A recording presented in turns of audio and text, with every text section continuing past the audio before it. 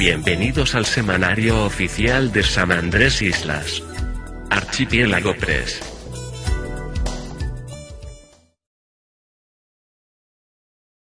Archipiélago Press.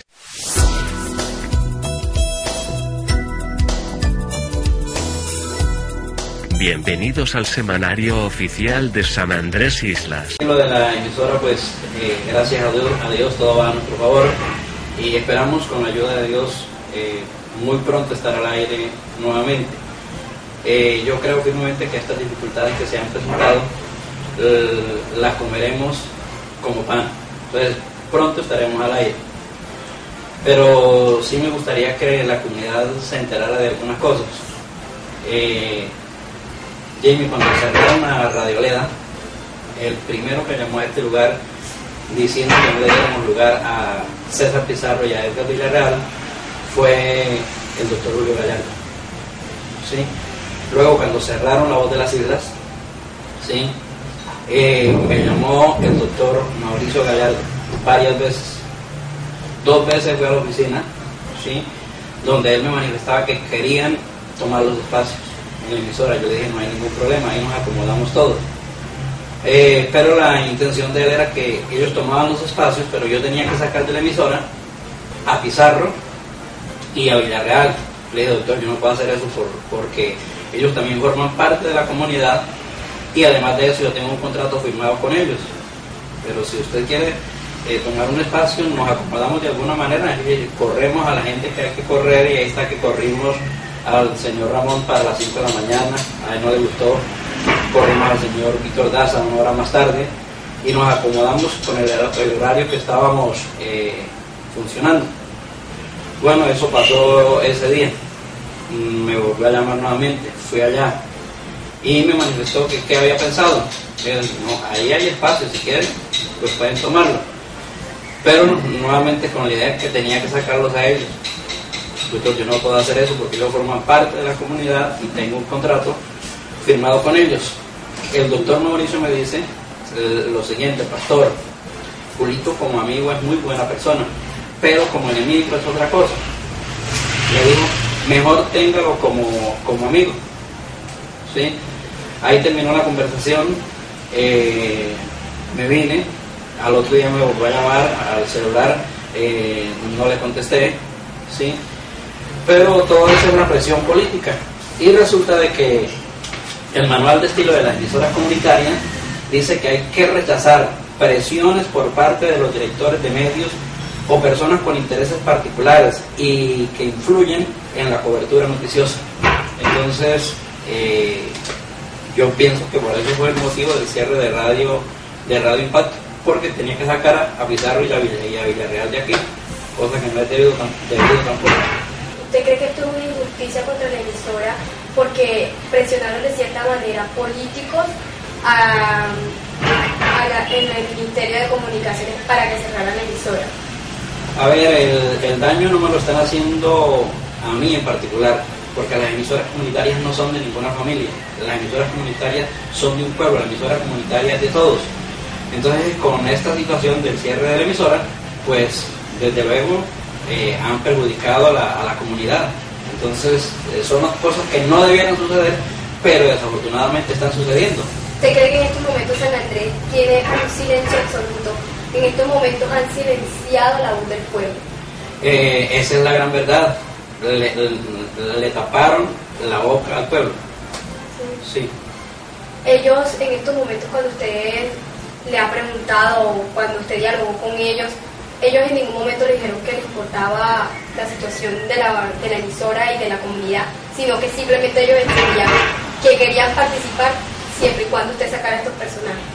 Eh, eso fue lo que, lo que él manifestó, que bueno, tomaban los espacios, pero eh, tenía que tomar esa decisión, pero como no tomé la decisión, de todas maneras les, les abrí el espacio en las horas de la tarde y ahí estaban participando normalmente.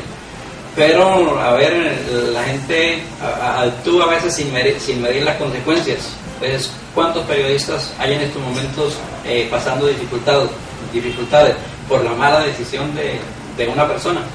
O sea, por la mala decisión de unos gobernantes que en estos momentos están haciendo maltrecho para los periodistas y la comunidad que en estos momentos no tienen cómo informarse y poder expresar lo que les está sucediendo actualmente. Eh, yo creo que no hay que añadirle más nada. Lo que usted ha dicho es más que suficiente y es la gran realidad.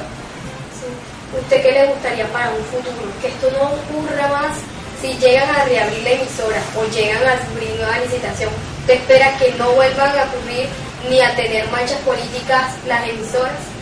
Eh, a ver, mientras que existe el cielo y la tierra, en, esta tierra va a haber eh, envidia, va a haber eh, corrupción, va a haber maldad. Esto no lo podemos evitar porque la profecía bíblica así, así lo menciona. Pero qué bueno que en una comunidad donde somos todavía un pueblo pequeño pasen esas cosas. Qué bueno que pudiéramos vivir en paz, de verdad, en tranquilidad y que hubiera más armonía. Y vuelvo y digo lo que dije en, otra ocasión.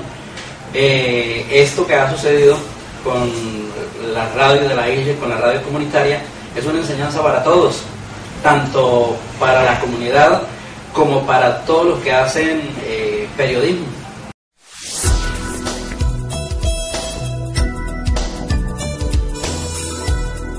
Bienvenidos al semanario oficial de San Andrés Islas. Archipiélago Press. El 16 de agosto del año 2010 en San Andrés Islas se dio un milagro. El vuelo de Aires partió del Aeropuerto Internacional El Dorado con dos horas de retraso directo a San Andrés Islas. Tras una hora y 45 minutos tocó tierra, perdió el control, se partió y quedó destrozado en tres partes, dejando regada pasajeros, tripulación y equipaje en la pista del aeropuerto de San Andrés Islas. El saldo, dos personas muertas y más de un centenar de heridos. El 16 de agosto, tras cumplirse un año de esta catástrofe, en nuestro departamento se lleva a cabo una misa alusiva a este día que muchos titulares del mundo escribieron. En San Andrés Isla ocurrió un milagro. En la iglesia San Judas Tadeo, el padre se dirigió a los presentes alabando a Dios y al patrono de las islas porque la tragedia no fue mayor. La misa se llevó a cabo con el objeto de que la comunidad se una en oración para dar gracias por todas las bendiciones derramadas sobre nuestro departamento archipiélago. Al Altísimo se le dio agradecimiento por el milagro de salvación que realizó sobre las personas que salieron con vida del siniestro y por las almas de las dos personas que perecieron a raíz del accidente.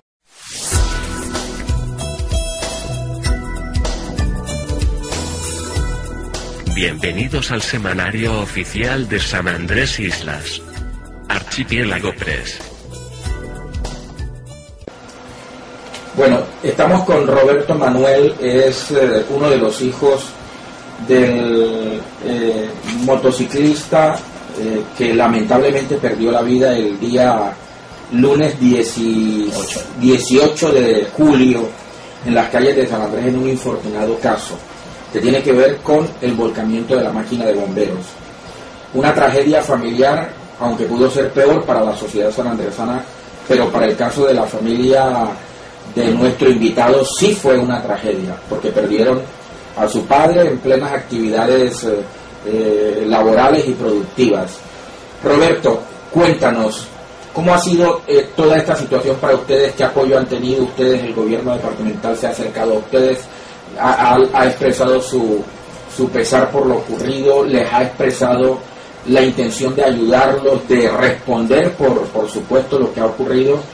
E, ¿En qué sentido lo han ayudado a ustedes? Cuéntanos todo lo que, lo que ha sido esta tragedia para ustedes desde el día 18 de julio. Pues para nosotros, pues, una tragedia realmente fea, horrible, que uno pues, no desea que todo el mundo lo tuviera. Eh, pues lo que nos han comentado el gobierno, que he llegado personal a hablar con él, pues es el, apoyo sobre los gastos fúnebres y lo que es el apoyo de nuestros invitados sobre las nueve noches que hemos tenido.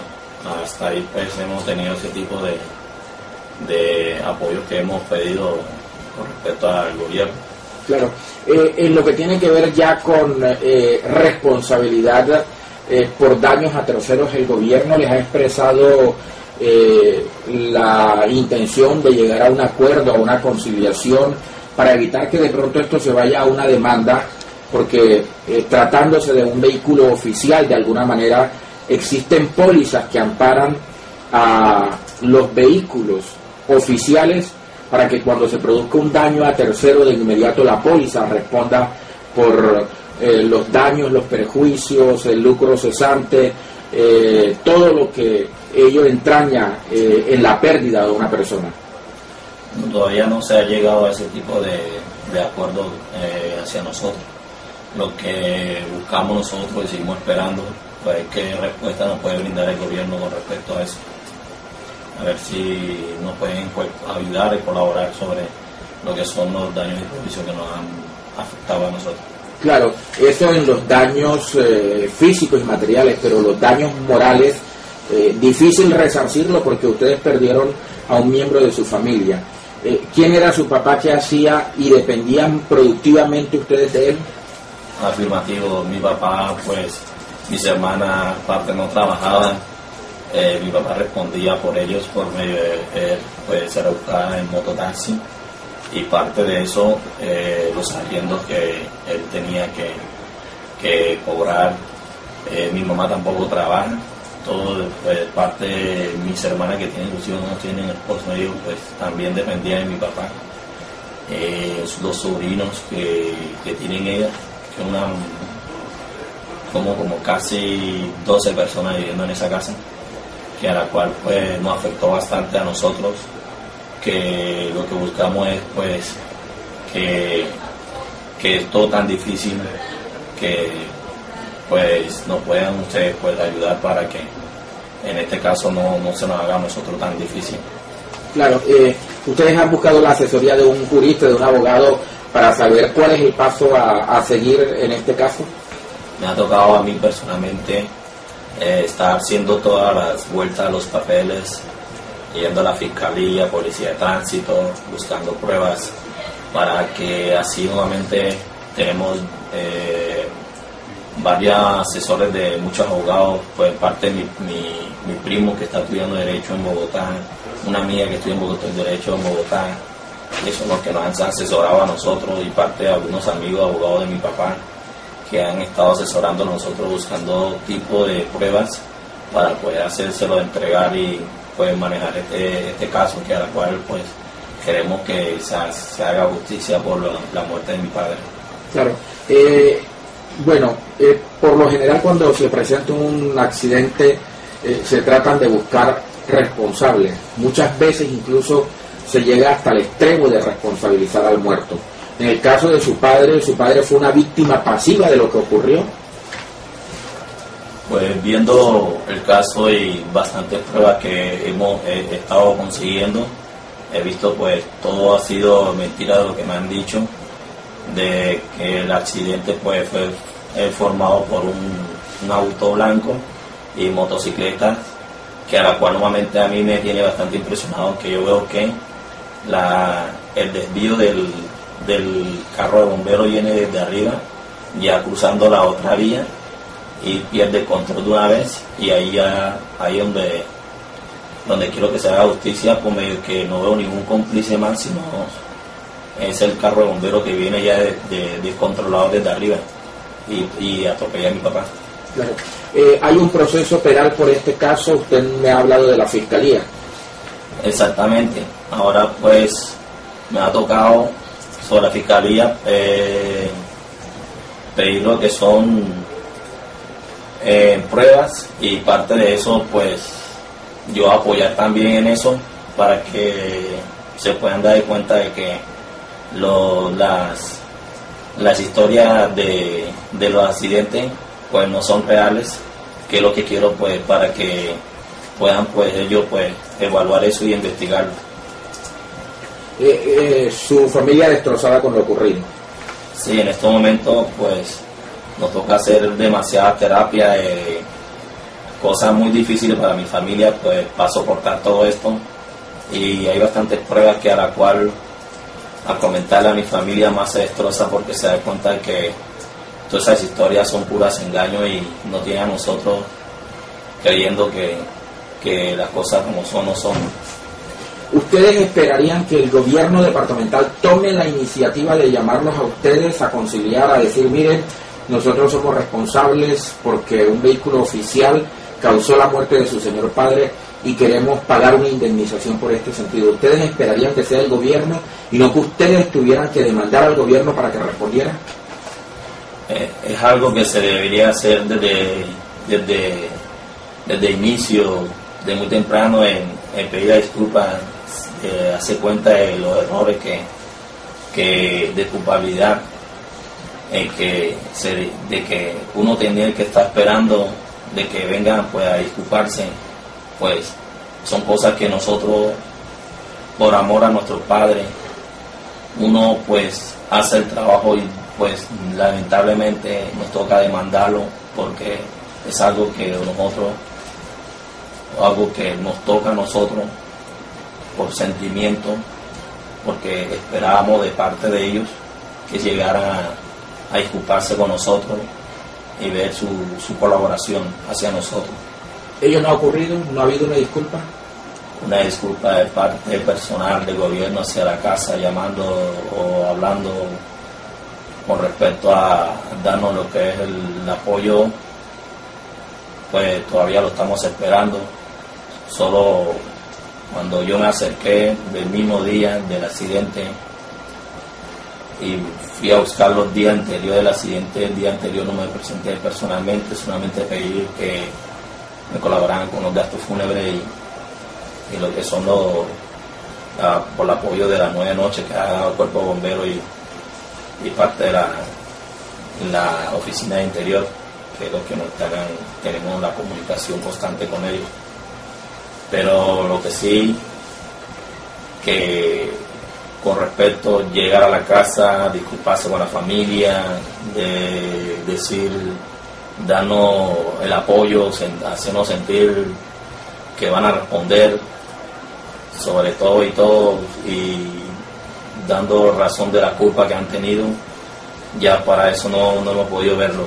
Y pues de eso es muy, muy difícil para uno de ver este tipo de situaciones que no estamos acostumbrados.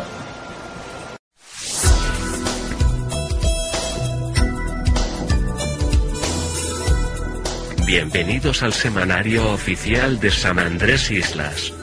Archipiélago Press. Mi nombre es Leandro Pájaro, presidente de la Liga Consumidores de San Andrés Islas y el doctor Ariel Amel, presidente de la Confederación Nacional de Consumidores de Colombia. Doctor Ariel, en este foro que además se habló de la garantía de derechos, usted mencionó, nos dio la grata noticia de que el Congreso al fin había aprobado el proyecto de reforma, de, actualización, el llamado nuevo Estatuto del Consumidor. ¿Qué le puede decir a la comunidad sanandresana y nacional acerca de los beneficios de este, de este gran logro? Y San Andrés directamente que se beneficia, habida cuenta de que nosotros tenemos cierto resentimiento de que el costo de vida en las islas, para las islas es el más costoso de todo el país. Doctor Ariel, bienvenido a las islas del programa Internet. Muchas gracias. Yo estoy hablando nada más ni nada menos que con la persona símbolo de la defensa de los consumidores en el país. Usted le esta cátedra a todos los dirigentes de los consumidores por la generosidad, su virtud, su desprendimiento, su tocidez y sobre todo por ese heroísmo con que usted cumple una función sin tener absolutamente ningún instrumento. Acabo de enterarme que uno de los espacios informativos a través de usted, cuál podía hablar por los derechos ya no existe. Esa es una de las razones por las cuales tuvimos que hacer todo el esfuerzo para revitalizar el estatuto del consumidor de hace 30 años. Ahorita, hace tres días logramos que el Congreso por unanimidad aprobara la nueva ley que actualiza el estatuto del consumidor. En esa ley, como usted lo pregunta, se le da más fuerza, más peso, más proyección a los derechos de los consumidores. Se ratifica el principio consagrado de la Constitución en el artículo 78, que también es obra nuestra, en 1991 lo logramos, que dice que el Estado garantizará la participación de las organizaciones de consumidores en el estudio de los asuntos que les conciernen. Si eso fuera cierto, si eso se cumpliera, No debe haber un solo escenario en San Andrés en donde se tomen determinaciones que afecten a los consumidores, en donde no deba estar usted representado. A usted todo el mundo lo reconoce en San Andrés como su representante. De acuerdo con la Constitución y de acuerdo con el nuevo estatuto, las autoridades tienen que usted su participación, porque estamos seguros, por el conocimiento que tenemos de su tarea, que donde usted esté no permite que se incumplan las normas ni se atropellan. Sí, propósito. Doctor, eh, nuevamente le agradecemos su visita a la isla de San Andrés, bienvenido, ¿verdad? Nos siga honrando con su presencia para motivarnos más en esta lucha. Nosotros siempre nos hemos sentido fuerza eh, en orientación a los lineamientos nacionales la política de precios. ¿Por qué San Andrés necesariamente tenemos que pagar como un 35% mayor del incremento del costo de, de vida del resto de las poblaciones del país? ¿Será por zonas fronterizas? Esa es una de las razones. Pero yo creo que la razón fundamental es que como este es un paraíso turístico, aquí los, aquí los precios oscilan de acuerdo con la demanda de quienes traen dinero, pero las consecuencias de las alzas las soportan los habitantes mensales Sí tenemos un asidero real y efectivo en el nuevo estatuto de, protección al consumidor y, entre otras cosas es el sector de la telecomunicación, esa modernización que antes no existía en la ley del 82 y el 83 sí la recoge, la retoma del Estatuto del Consumidor, la ley de la informática, etcétera, etcétera, el Internet, la publicidad virtual, etcétera, etcétera. Precisamente una de las razones principales que nos llevó a actualizar el Estatuto del Consumidor es que hace 30 años, cuando salió nuestro estatuto anterior, que en ese momento era el más completo del mundo, no existía el Internet, no existía la telefonía celular, no existían las ventas puerta a puerta, las ventas virtuales mucho menos. Entonces había que actualizar todos esos servicios que hoy son fundamentales para el consumidor. Yo diría que la nueva tecnología rompió en dos por completo la historia del mundo, pero especialmente los consumidores. Doctor, ese nuevo estatuto podría ser sujeto a reglamentaciones en cuanto para que nosotros, lo, lo, pertenecientes a la organización de consumidores, tengamos más en la protección con relación a los entes de control. Por ejemplo, decir que en las pastillas hay medicamentos que lo venden en caja. En la caja aparece la fecha de vencimiento, pero a veces le venden a ustedes los medicamentos mediados. En esos medicamentos no viene impresa la fecha de, de, de expiración del de consumo del producto. Qué bueno. Y así otras cosas más o menos podríamos un, uno, uno, unas reglamentaciones posteriores proteger esos derechos del, del, consumidor. Parece que usted ha dado también el clavo con otra pregunta vital.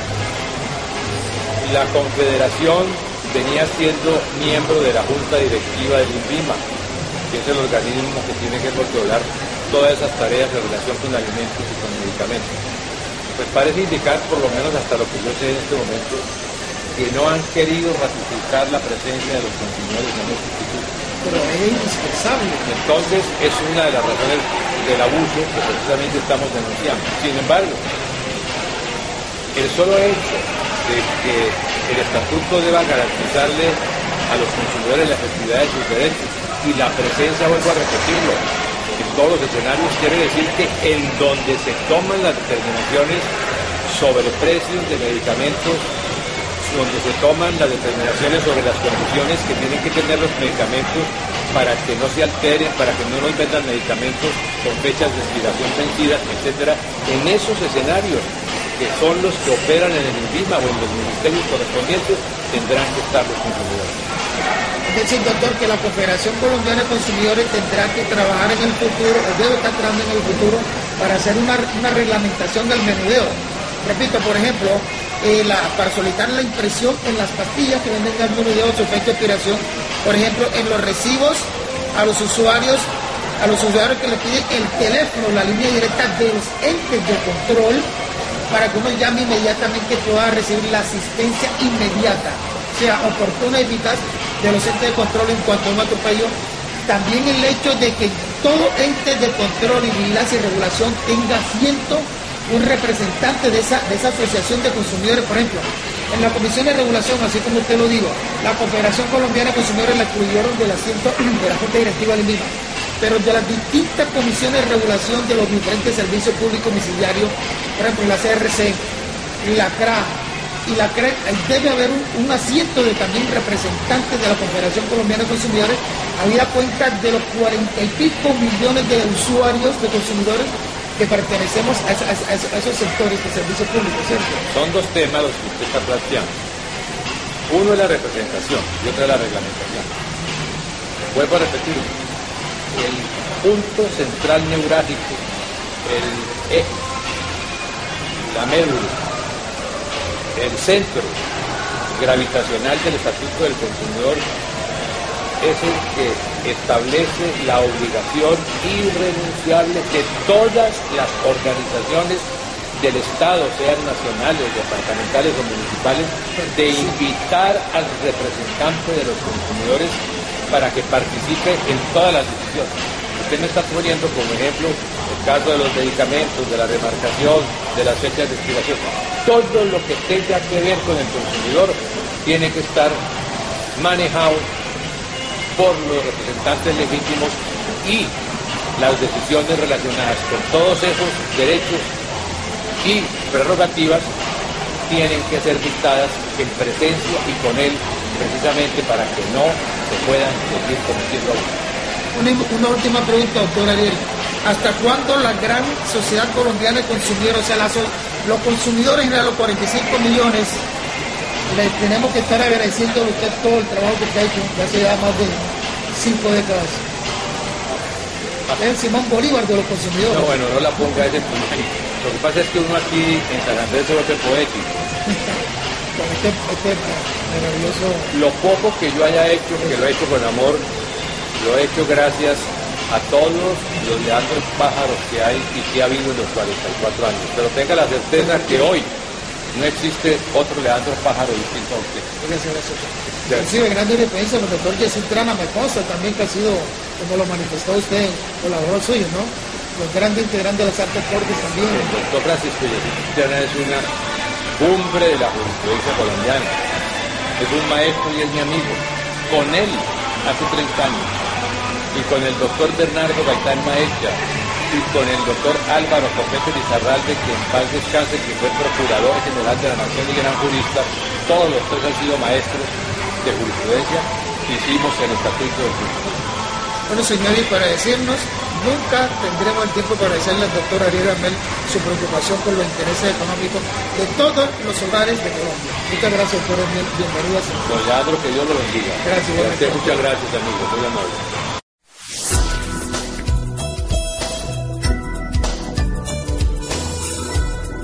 Bienvenidos al semanario oficial de San Andrés Islas.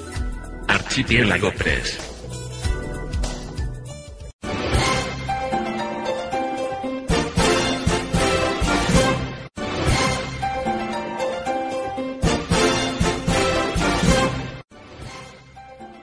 Los partidos políticos de Mira y Partido Verde se acercaron a la notaría a escribir a sus candidatos el Partido Verde en cabeza del doctor Frank Escalona Rendón, de la doctora Ligia Rojas, de la doctora Marlene Hacking y Eviston Forbes, más conocido como Papalí, llevaron los respectivos documentos y libros contables para su respectiva legalización. Superando un impasse por error de escritura en uno de los formularios, se procedió a realizar la respectiva diligencia de inscripción de candidatos a la Asamblea por parte del Partido Verde, encabezando la lista el doctor Frank Escalona Rendón. La doctora Ligia Rojas así se dirigió a nuestras cámaras y seguidores del Partido Verde. La verdad es que la aspiración del Partido Verde es por asamblea departamental, queremos hacerle el control político y coadministrar con el gobernador que la comunidad decide elegir para que los planes de gobierno se cumplan. Por su parte, el candidato Juan Contreras también nos concedió una pequeña entrevista a nuestras cámaras. Eh, somos un partido eh, que somos independientes y venimos con las intenciones de hacer un control político al gobernador de turno eh, que llegue al departamento. La registraduría departamental le recuerda a los partidos políticos que hasta el 10 de agosto es la fecha límite para inscripción de candidatos en el departamento.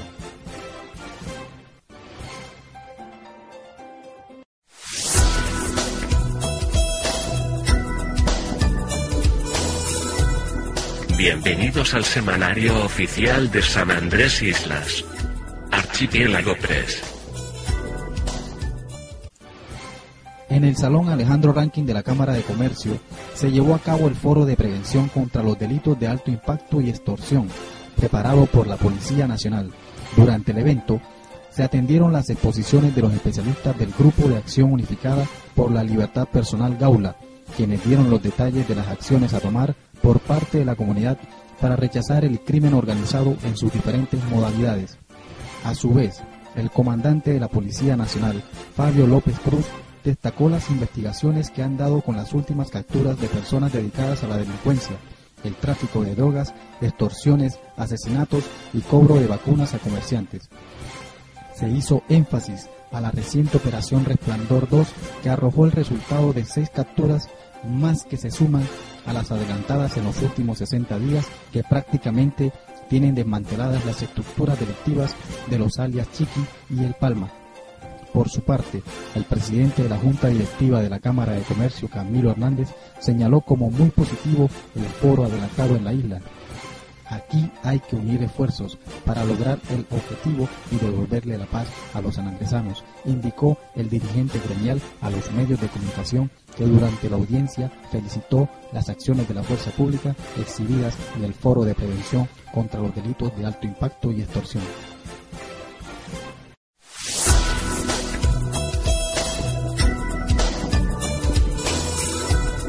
Bienvenidos al semanario oficial de San Andrés Islas. Archipiélago Press.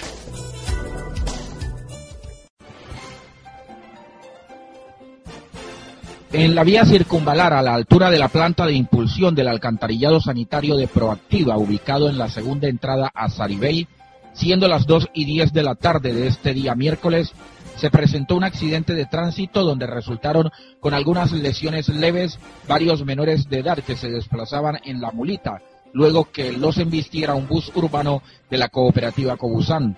Los jóvenes heridos por fortuna salieron bien librados ya que no presentaron lesiones de consideración, y más fue el susto de los infantes que se desplazaban al colegio Luis Amigó a hacer preparativos para la prueba de estado o examen del ICFES, y quienes fueron atendidos en la clínica Villarreal, donde recibieron tratamiento asistencial de los galenos y los destrozos en el liviano automotoro que fue volteado por el impacto y resultó con daños en el panorámico y la carrocería. El bus presentaba destrucción parcial del vidrio panorámico y magulladuras en la carrocería. Su conductor resultó absolutamente ileso.